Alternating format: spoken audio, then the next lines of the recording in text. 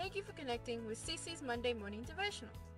CC's MMDs are weekly devotionals to help us cope with life through a Christian perspective.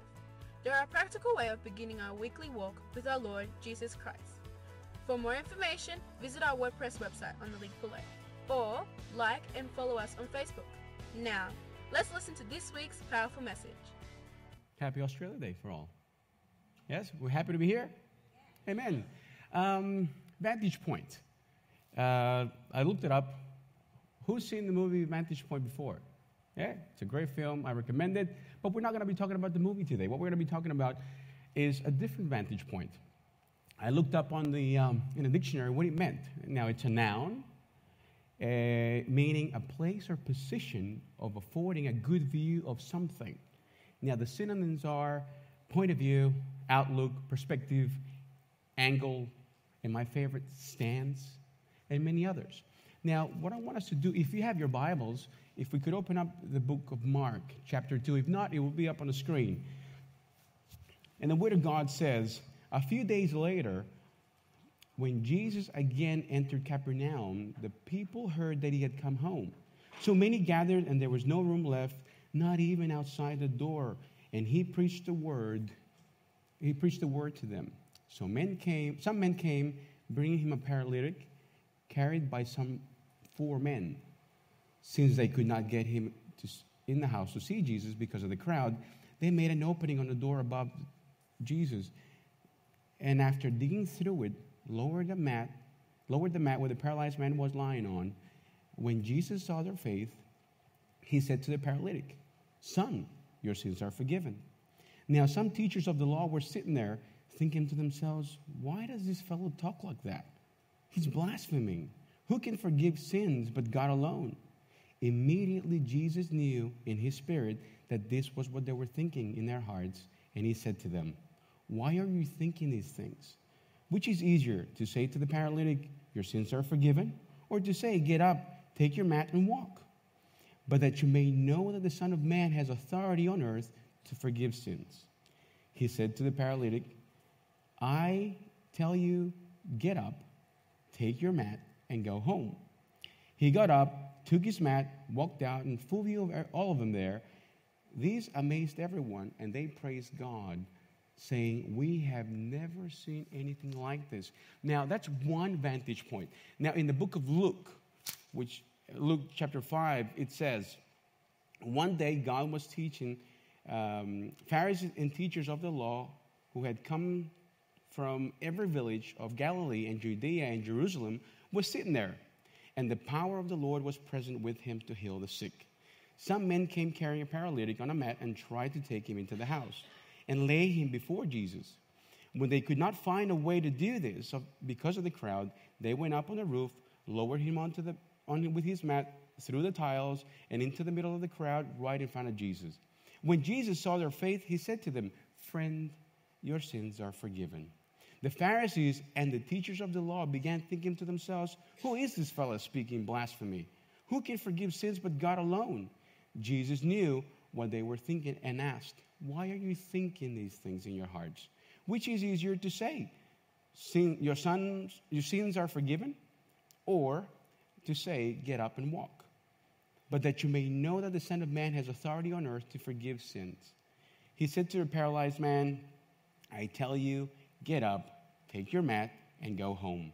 Immediately he stood up in front of him, took what he had been lying on, and went home praising the Lord. Everyone was amazed and gave praise to God. When they, filled, they were filled with awe, we had never seen things like this.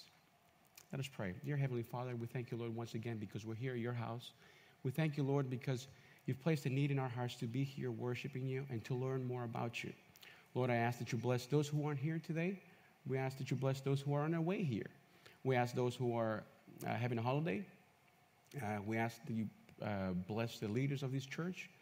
Um, Lord, I also ask that you put words into my mouth that are yours. I want you to use me as a tool, nothing else. And may we all leave here today with a little something of what you have to say. Lord, I ask all of this in the name of Jesus Christ. Amen. Now, we're reading these two books um, from their own vantage points. that the house was full and it was crowded of people wanting to see Jesus. Now, um, maybe some people there were there just to see whether they could score some kind of miracle. Maybe people there were there, you know, just to, to see what God would do, to see what Jesus would do, to see whether they can actually find some fault on him. Maybe they could criticize him, maybe they were there to ridicule him. But not everyone there was there because they had faith. This passage also talks about a man who was paralyzed, who could not walk, and some of his friends actually took him from where he lay on a mat to where Jesus was. Now, the interesting thing about this is the fact that, in spite of all the adversity, or, in spite of the fact that there were so many obstacles, these men did not give up. They didn't say, you know, we can't go in there. Look, it's too crowded. They didn't say, oh, let's go home. Or they didn't say to their friend, you know what? Tough luck. They didn't say that. On the contrary, they searched other avenues and other methods and solutions for their problems. They saw there was a way to the roof. They went up on a roof. Uh, in, in those days, people would have access to the roofs, especially on hot days. So these men carried their friend up on the roof, lowered him onto where Jesus was teaching, and placed him next to him. Now, as we read, Jesus first met the man's deepest need.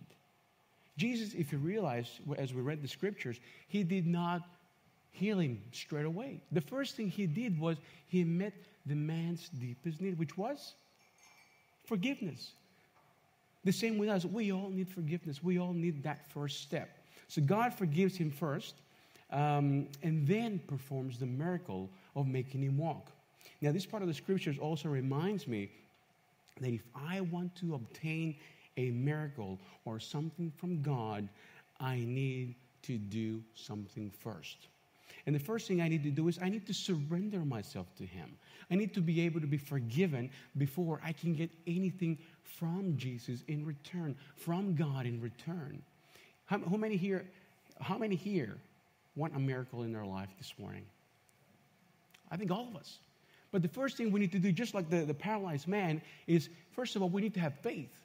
And second, we need to put it into practice. But we also need to, first of all, we need to take the first thing in our deepest need. We need to fulfill that, which is forgiveness.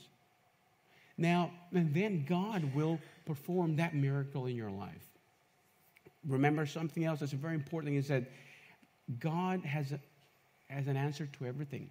But God's answer will be done or will be said or given in His time.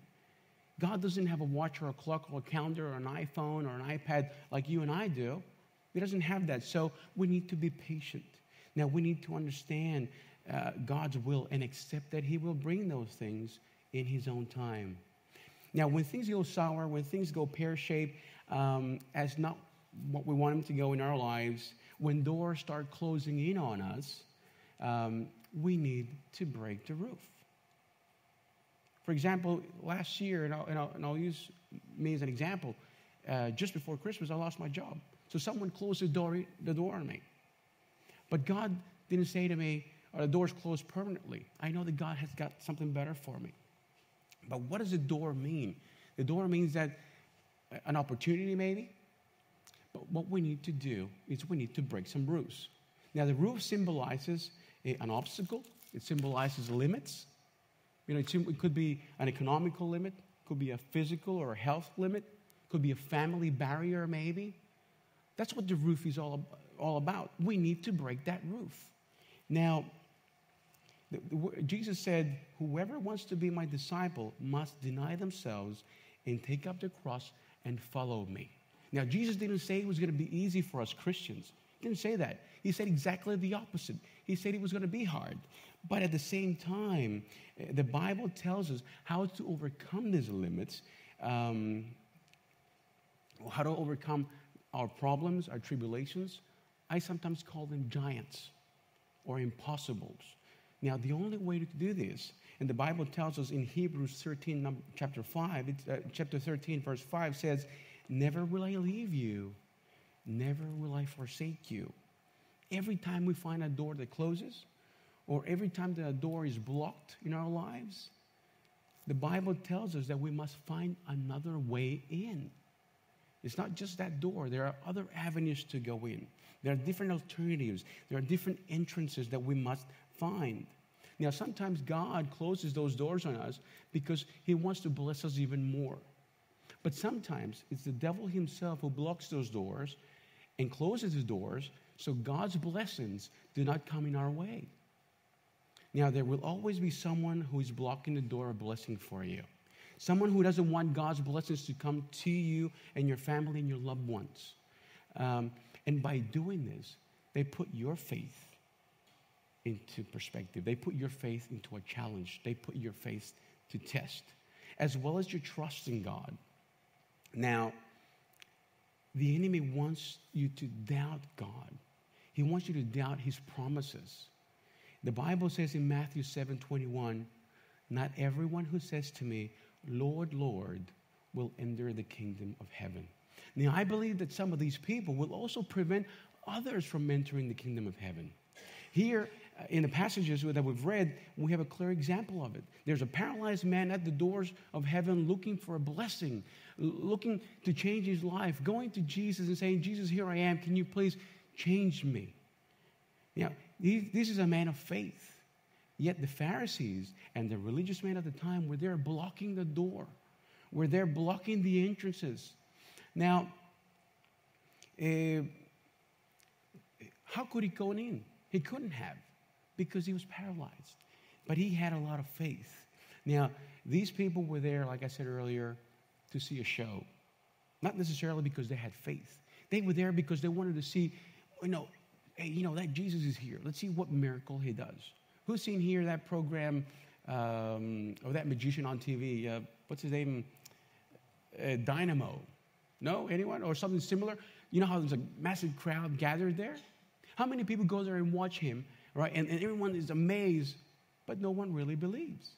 The same thing here. There's Jesus performing miracles, preaching the word, teaching uh, the laws, and teaching about God and about who He is. Yet hardly anybody believed. Now, sometimes it is us who put up those limits. It is us who block those doors. It is us who actually put up those roofs so we can't go in. We need to change our vantage point. We need to change our stance. We need to prove and come down to where Jesus is. He's waiting for us. It is until then that He will provide for us, first of all, forgiveness, which is what we, our deepest need, and then grant us with that miracle that we want. Grant us with that impossible that we want solved. I remember when I was a young student, I would excel in certain subjects that I enjoyed. However, the ones that I didn't like, you know, I used to get normal, an average of 6, 6.5, which was the minimum in order to pass. Now, I just did this to pass the subjects, and because I didn't want my dad yelling at me all the time, even more than he already did because of my um, uh, poor attitude. Uh, we need to, uh, if our spiritual life is a 6.5, we need to aim for a 7 or an 8 or a 9 or even a 10. Now, you may say, yeah, 10, but that's impossible. Well, no, it isn't. We can do it. In Philippians 4, chapter 4, verse 13, it says, I can do all this through him who gives me strength. Now, we need to find alternatives whenever we have a problem. Whenever a door closes, we can't say, well, you know what? I can't get that job because, because I can't. Or I can't have that thing because I can't. Don't say that.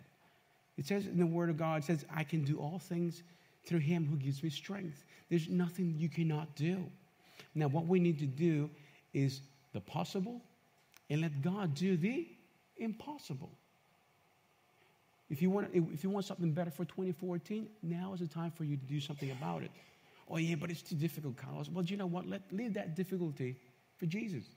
Let God deal with that. You deal with what's possible. Don't back down. Just keep going. Now, that roof has to be open in the name of Jesus. Now, there's a right way and there's a wrong way to break roofs. That up there, if it's up there, it's the wrong way. I fell from a double story building. You know, I was trying to break in because I had a laptop. No, I'm just kidding. I, I, it was not true. No. I was, I was trying to become a handyman that I wasn't, and I still am not, and I almost killed myself. And by the way, that was three months after the incident. I, I actually look a lot better um, than I really was. And, um, but the important thing is that we're to break rules, not the way I did, but the way that God wants us. God wants us to use our faith and put it into practice. That's what God wants. Um, I know a lot of people are watching there. There's a young Cecilia up there. Um, uh, anyways, it is important for all of us to know that we can't waste time arguing or making up excuses for not doing something. The men in the passage said, we, can go, we can't go through the doors, so let's find another way. They didn't fight their way through the crowd, pushing everyone. They didn't do that. They didn't waste their time with that. You know, they thought about something better. They actually thought, you know, instead of us arguing and fighting through the crowd, let's find a solution to this. You know, and what they did was they got up on the roof and they overcame their obstacles. When God created the world, the land, the seas, the heavens, um, he would acknowledge how good things were. And when he created man, he said, This is good. But later on, it says that um, God says, It is not good for man to be alone. I will make him suitable help. Now, why, you may ask? Well, you know, Adam had a pretty tough job of naming all the animals. And he would have realized that God made animals of both sexes. Now, he probably would have felt alone at some stage. He would, probably would have felt sad because he had no one to play with. Maybe he felt you know, um, anguished. Who knows? But the Bible says that God put him into a deep sleep, and while he was sleeping, he took one of the ribs and then closed up in place, replaced with flesh. Then God created woman from that rib that he had taken out and brought her to him as punishment. I mean, as, um, as a blessing. And, um, and as a suitable helper. Now, from that day forth, his life changed. I call the men are smiling. Okay, his life from that moment onwards, it changed, and it did ever change forever? Now, she was a great helper. Now, she was taken from within Adam and brought out, and God took her and gave it to him and said to them, Be fruitful. Now, without Eve, Adam could not have been fruitful. Adam alone could not have any kids. Amen for that. Now, it is very important to know that both men and women have the potential within us, just like Adam did, for blessings.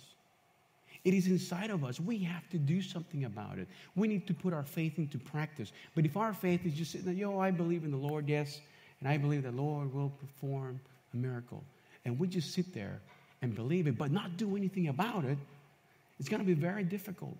God took out something from within Adam and turn it into a blessing.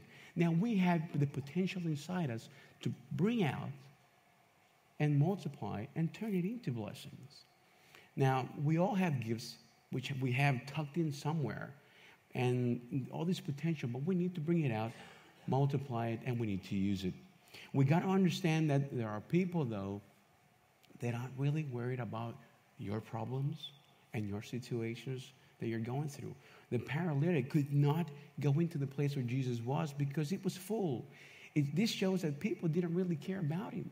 People would see him and then just ignored him completely, and they continued facing towards Jesus to see what he would do, to see what he would say. So these people didn't care, or perhaps I'm being a bit harsh on them. Maybe it was the fact that it's not that they didn't care, maybe because they were too worried about their own miracle or their own problem, that they wanted something from Jesus themselves. They wanted to help themselves before they helped anybody else. Maybe that was the case. But the lesson here is that other people are also worried about their own issues. Other people are worried about their problems. So it is today that we need to change that vantage point. It is today that we need to break that roof and do something ourselves. Who does not have a problem here? Raise your hand. Who has a problem at the moment? I think we all do. But this is where God's going to use that potential that we have inside to bring it out and put it into practice so God can give us that miracle that we want, that solution that we want.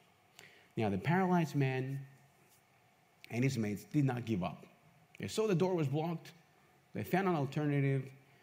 We need to start praying today. That's one of the alternatives. That's one way of putting our faith into practice. We need to start praying. We need to start reading the Bibles. We need to start studying the Bible. We need to start coming to church, but not just coming to church and warming up a seat. We need to come to church and stay in church. Problem is that we come here to church, you know, and, and we come for a couple of Sundays and we pray and we sing and it's great and the great feeling and we meet other people and, and then all of a sudden God gives us that solution, gives us that problem solved and, and, and gives us that miracle that we want. And all of a sudden we just disappear again. And then we come back when we have that problem again or something similar. God doesn't want that. God wants us to be permanent, God wants us to be constant. And the same thing with our faith. Our faith needs to be constant. We need to be uh, Christians not just of Sundays and Thursdays, but of every day. You may say, Carlos, but I have a busy life. I work, I study. You know, I have kids.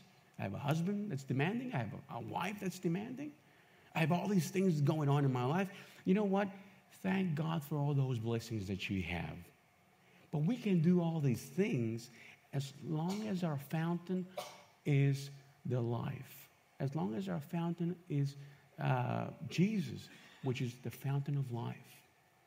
Some people say, you know, I'm going to grow in the Lord, and when I grow in the Lord, I'm going to continue growing in the Lord. And, amen. That's what it's about. But it does not mean that we have to be reading our Bibles all day. It means that we read it every day, yes. But what we need to do is we need to read some of the scriptures and put it into practice. That means that we're putting our faith into practice. So you read and you put it into practice. Now, I've always believed that it's best to read a little and put a lot into practice rather than to read a lot and read and put a little into practice. What do you think? Does it make sense? You read a little, put a lot into practice, rather than reading a lot and putting nothing into practice. Now, I gotta admit, I've always had problem memorizing Bible verses. Always. I never seem to be able to, to grasp them and remember them. I cannot do that. For some reason, it's really hard for me. And sometimes, eh, you know, I'm amazed when people can come up and, and say the verse and, and the passage completely almost. And I'm thinking, wow, this guy is amazing. He can remember that, he can memorize it. I cannot do that. It, I've tried a million times for years and years, and I could not do it. But sometimes I think, what's the point? of memorizing something, but if you're not going to put it into practice. Because I've come along, I've met a lot of people who, oh, they can read and quote scriptures, and, and, and I'm thinking, wow. But when I look at the way they behave, I'm thinking, wait a minute, that's a big contrast there. So I'd rather read a little bit and put a lot into practice than vice versa. Now, we need to break those rules. These people here, these men that we read about, decided to overcome all those obstacles. They decided to go there and, you know, let's break this, let's do something about it. You know, they saw their friend there laying, and they had faith that only Jesus could change his life. Only Jesus could, you know, give him a new life. Only Jesus could perform that miracle. I can just picture in my top back of my head um, the man laying there at home, and all of a sudden his his pals rocked up and said to him, Hey, dude, there's a man there. His name's Jesus. Apparently, he's healing people. Let's go check it out. And the man was really laying there thinking, Yeah, let's go. You know, this man needed help for the basic tasks in life. Imagine being there in those days, paralytic, can't walk. Imagine going to the bathroom. Imagine getting a glass of water and not being able to do that. So these true friends went there, picked him up, and took him to see Jesus. Now, we need to hang out with people who have this type of faith. We need to hang out with people that know that only Jesus is the answer for anything that, we, that goes on or goes wrong in our lives. We need to hang out with people like this, people who have and put their faith into practice, people who believe that God can fix anything. The paralytic could not do things for himself. Now, it is great to work as a team. I see the band here and they sound fantastic. You know, and whenever I play there, I, I, I don't, they don't sound that good, but when, whenever they play there, you sound amazing. It's great to work in a team, but it's even greater when we work in a team that has a lot of faith. When we come to church, for example, and we're here and we're praying for a certain thing, it's great because we all have faith. And all that faith, we're putting it into practice, and God is content.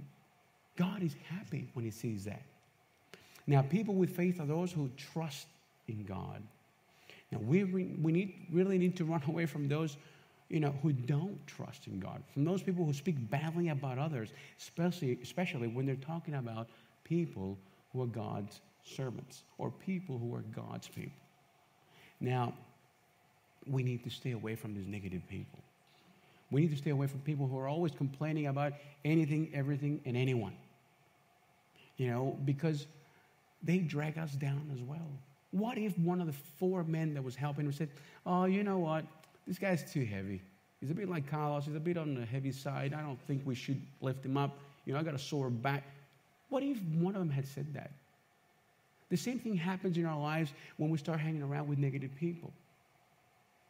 Now, we need to speak to our pastors, to our leaders, if we want guidance with our spiritual life.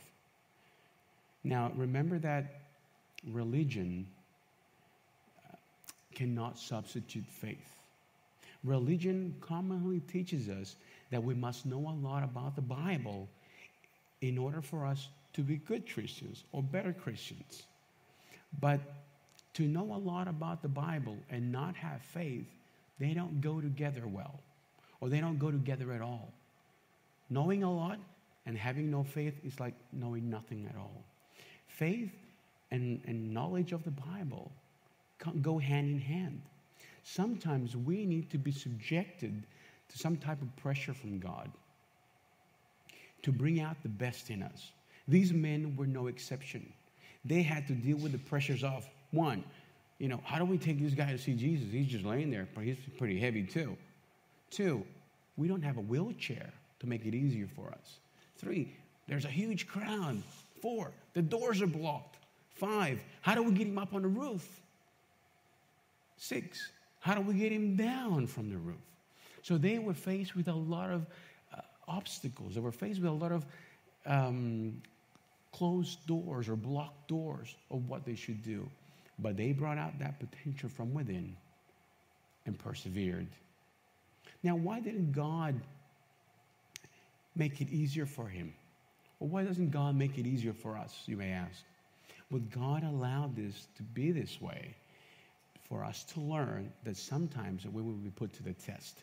Sometimes we will be, we will be under the pump. We, he will look at us with a microscope and say, okay, let's have a look at what you're doing in life today. Let's have a look at what's going on in your surrounding. Let's have a look at what you're thinking of today. That's what God's doing. In tribulation, that's when our best comes out. You know, and one of the one of the the closest examples I've got is when, when a group of people went to Uganda. They faced all different adversities from the weather, from um, the environment, and so on. In spite of that, something good came out. In spite of the fact that it was a hard condition and everything else that went along with it, you know, something positive came out. The same thing, God places us or gives us tribulations or problems or impossibles or giants for us to deal with because he wants that potential that's within us to come out so He can give us bigger blessings. Now, Jesus said to the man, Friend, your sins are forgiven. I tell you, get up, take your mat, and go home. We read two different uh, vantage points,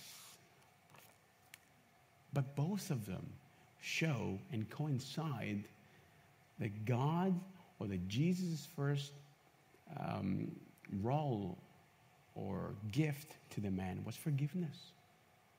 We cannot, you know, move away from that. If you're expecting a miracle from God and you have not surrendered your life to Him, well, you're going to be waiting there for a very long time. Yes, people will be praying for you and for that miracle to happen. Yeah. But the first thing you need to do is you need to surrender yourself. God will forgive your sins, and, and then everything else will be added. Now, Jesus first forgave the man's sins. Then, and only then, did he proceed to heal him. Among the crowd, there were Pharisees from the region to see what Jesus did. They were there to fault him. So when Jesus said that he could forgive sins, they thought to themselves, Who is this bloke? You know, why is he committing blasphemy? Only God can forgive. To which Jesus replied, I want you to know that the Son of Man has the authority on earth to forgive sins. So he said to the paralyzed man, I tell you, get up, take your mat, go home. Immediately he stood up and then in front of them, and he went home. He, and he went home praising God. Now, there will be toxic people at the door watching you, listening to what you're saying, waiting to criticize you, you know, waiting uh, to speak back bad about you and others. If Jesus confront, was confronted by these men, what makes us any different? What makes us any different? You know, we're going to find people uh, attacking us because we're Christians, because of what we believe, because we're, we're children of God at our workplace, at our schools. I remember at a job I had, the manager would call me the infidel because I was not of his religion. He would quote me as, oh, the infidel. Come here, infidel.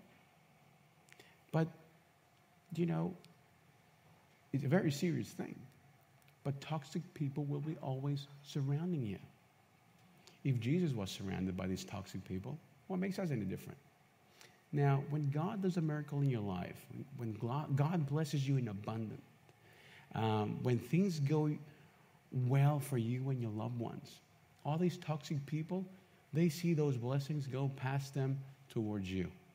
They see those blessings go past them towards you, and they don't stop where they are because they have not yet seen or experienced what, who Jesus is. They have not surrendered themselves to Jesus. Now, it is very important that we understand that God will make your way when there seems to be no way, when the doors are closed, when the problem's huge, when you don't know what to do. All you have to put into practice is that faith that you have. And those doors and those giants will all of a sudden start tumbling down. Those doors will open. And the blessings will start overflowing towards you. The paralytic gives us a great lesson today. Faith is shown by actions and not by words. One can talk about faith all day long, but if we don't show it, it probably means that our faith is probably dead. God is looking for men and women with actions of faith. The book of Matthew 17 20 says, Jesus replied, Because you have so little faith. Truly, I tell you, if you have faith as small as a mustard seed, you can say to the mountain, Move from here to there, and it will move. Nothing will be impossible for you to do. Who has a problem here today? Who has faith here today? Amen. So now is when we say to that problem, I want problem, I want you to move from here to there. And Jesus promises and says, and it will move because nothing will be impossible. It's not Carlos saying it. It's Jesus telling you. But we need to be able to say it and do it with authority. Do we have the authority? Amen, we do. Who gave us the authority? Jesus has. And, and, what did Jesus say to us? He promised us, and He says, nothing will be impossible for you. But sometimes we walk around like things are completely impossible. When I lost my job in December, um, that's how I was. I felt down. I thought, God, now, just before Christmas, what am I going to do? You know, it, it's probably the, the, happy season, but, um, you know, it's not going to be a happy season for me. But all of a sudden, you know, my mind went to the scriptures. And I thought, yeah, hold on a minute. Anything's impossible. And all of a sudden, somebody said to me here at church, he said, oh, I heard you lost your job. I said, yeah, yeah, yeah, it was a blessing. And he said, what? He said, hey, it's a blessing. Even my wife said to me, don't go telling people that you losing your job is a blessing. I said, well, it is. It is a blessing. Why? Because I've had the opportunity to connect even more with God. And I've had the opportunity to humble down and say, you know what, Lord, I'm nothing. I'm nothing, but you are the everything. And no matter what impossible I'm facing today, right now, and this means you too, it means that anything that is impossible will be possible if you have faith. That's all God is asking for. That's all Jesus is telling you that you have the authority to do. That if you have faith as small as a mustard seed, who's seen a mustard seed? That's very small, isn't it? So, as small as a mustard, if you have faith as much as that, you can move any mountain, you can solve any problem. And that's the same attitude that these men had. And this is the same attitude that you must have and that we must have for 2014. It is a time for us to stop uh, and think and change our vantage point, change our way of thinking, and start breaking those roofs. Every time you put your faith into action, God gets closer to you. Every time you put your faith into action, God is pleased with you. Every time that you put your faith into action, God delights Himself because we're putting into practice what we believe. What actions of faith are you doing for your miracle, for your problem right now? What are you doing? How are you putting your faith into practice? Don't tell me. It's just for you to know. Now, these passages, though, are somewhat sad. We've read two different passages, both in Mark and in Luke, and it shows the, the miracle that God performed but they're pretty sad. Why they're sad? Because it talks about there was a huge crowd. The doors were blocked and, and, there were people outside, and, and you, you saw the video clip, something similar to that. Yet the Bible only talks about five people that had faith the paralyzed man and the four guys who took him. How sad is that? that there were crowds there to see him and, and maybe even to touch him, and yet only five believed. And yet only five had that faith. So it is quite sad. So the question I ask you today is what will you do? What will you believe? Do you want to be one of those five? I certainly do. Be- now, these people this crowd, maybe they didn't get that miracle they wanted that particular day because they were there for a show. They were there for a spectacle. They didn't, they weren't ready to break that roof to be with Jesus. Are you ready to break that roof and lower yourself down and say, Jesus, here I am? So Jesus can perform that miracle in your life? Now, these people probably weren't willing to change their vantage point on Jesus. They weren't willing to see him as who he is. They probably thought, oh, here's, here's that magician. Maybe that's what they thought. But these five guys, on the contrary, they had faith and they trusted and they put their faith into action. Now, today is the day that God wants you to break that roof. Today is the day that God wants you to change your vantage point on Him. Today is the day that you, that you grab that faith and you put it into motion. Now, today is the day that Jesus is saying to you, friend, your sins are forgiven.